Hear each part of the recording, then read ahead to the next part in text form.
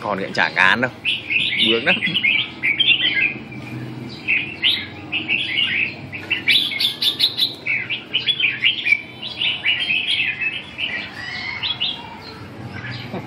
Mm-hmm.